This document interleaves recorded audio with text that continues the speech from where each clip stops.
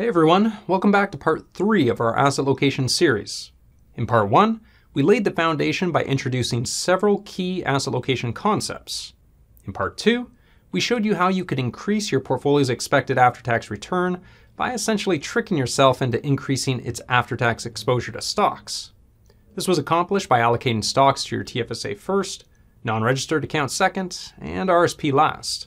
Although this strategy is often described as tax efficient, its expected outperformance is simply the result of taking more after-tax equity risk.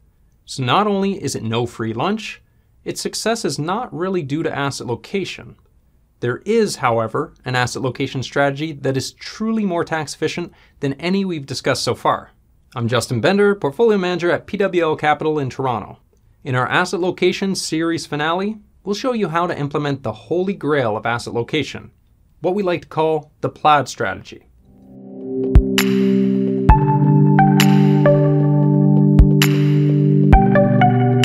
The plaid strategy is a more modern take on asset location strategies, and yet it's still based on several key concepts from part one of our video series. First, the after-tax, tax-free portion of your RSP behaves much like your TFSA, and just like your TFSA, you never pay tax on any growth earned on the after-tax portion of your RSP. Second, your after-tax asset allocation drives your after-tax returns, not your before-tax asset mix. If you haven't done so already, now is a good time to check out the first video in our asset location series for a full explanation of these key concepts. Once you grasp them, the light bulb comes on and you soon realize the government portion of your RSP and all growth on this portion never really accrues to you, so it can be ignored entirely.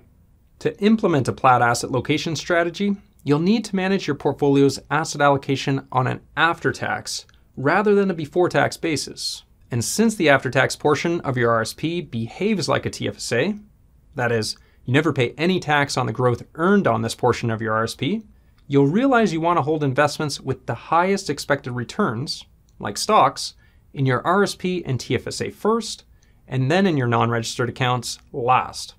So the first step to planning out your plaid approach is to determine your after-tax total portfolio value. For this example, we'll use the same before-tax account values from our last video. A $400,000 RSP, a $100,000 TFSA, and a $500,000 non-registered account. We'll also assume the same 50% average tax rate on the RSP withdrawals in retirement. Based on this, our RSP is worth $200,000 after tax, or 50% of the $400,000 before tax RSP value, making the total after tax portfolio value $800,000. And just like in our last video, we'll target a 60% stock, 40% bond after tax asset allocation for our light asset location strategy, holding the same asset mix across all accounts. This can again be accomplished by holding the Vanguard Balanced ETF portfolio, or VBAL, in each account. We'll target the same 60-40 after-tax asset mix for our plaid asset location strategy, using the same funds we used for our ludicrous asset location strategy in part two. So for our stock allocation, we'll hold the Vanguard All Equity ETF portfolio with ticker symbol VEQT, and for bonds, we'll hold the Vanguard Canadian Aggregate Bond Index ETF with ticker symbol VAB, plus the Vanguard Global Aggregate Bond Index ETF, CAD hedged, with ticker symbol VGAB.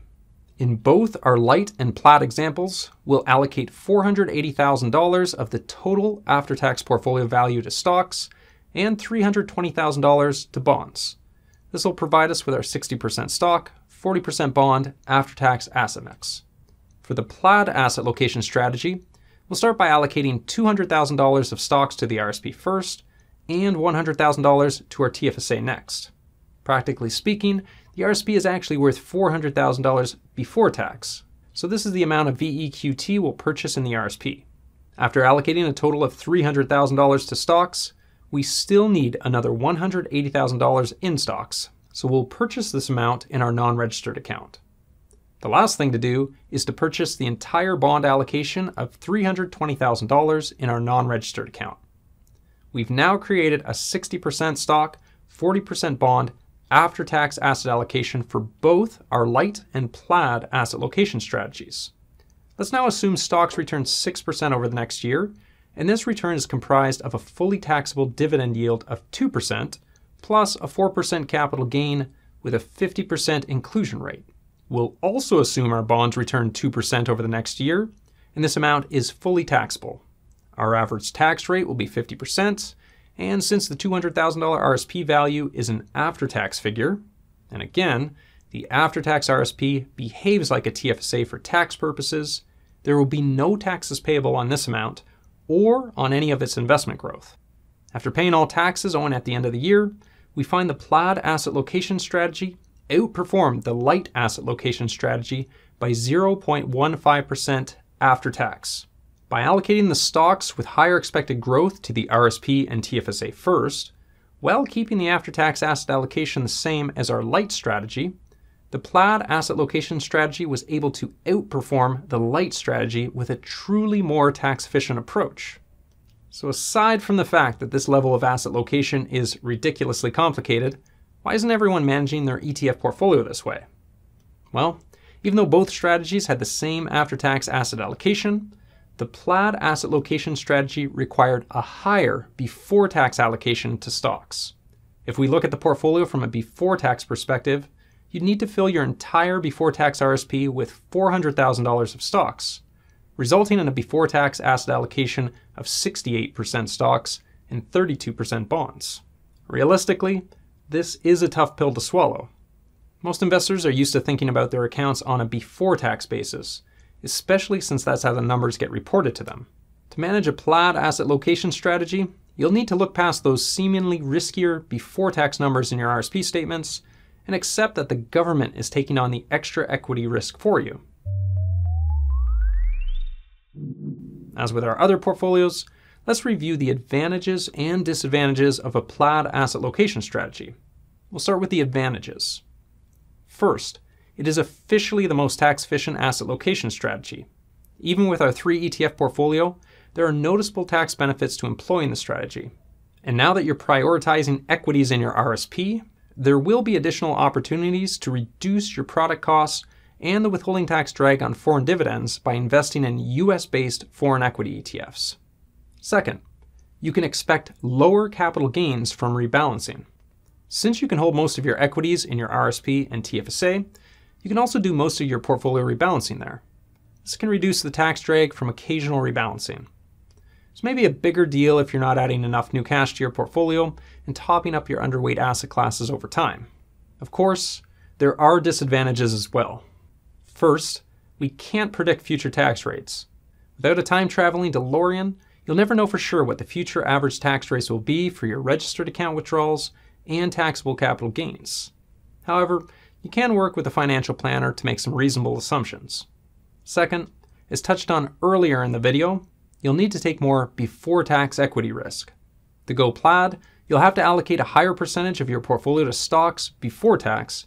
Understanding is actually a lower after tax allocation. Some investors can live with that by understanding it's ultimately the government, not them, taking the extra equity risk. But most investors will feel the full extent of the portfolio's losses during the next downturn. If you might blink at the first sign of stock market trouble, you'll probably want to stick with a single asset allocation ETF. Third, you need to love number crunching. Personally, I love numbers, but even I got a little dizzy writing the script for this video. And that's using simplified examples. Your real life portfolio management will be even messier. You'll need to continually update your after tax ETF values, and when unrealized capital gains start to accumulate in your non registered account, they'll create lower after tax values for the appreciated funds you continue to hold, further complicating the calculations. Okay, we've now reached the end of our asset location video series. Our plaid asset location strategy overshot the complexity of our other strategies by about a million miles, so no one will blame you if you decide to stick with a light asset location strategy. As I've said before, by using a single asset allocation ETF in each of your accounts, you'll still be light years ahead of most do it yourself investors. I'm Justin Bender of PWL, and this is the Canadian Portfolio Manager YouTube channel. If you enjoyed this asset location video series, please feel free to share it with your friends, family, or colleagues. See you next time.